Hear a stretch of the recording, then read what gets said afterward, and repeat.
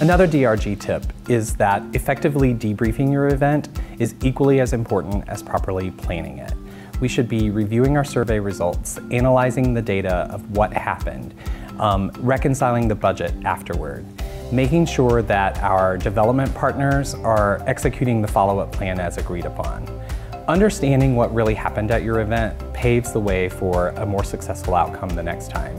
And the hallmark of a strategic events program really is having an effective follow-up plan.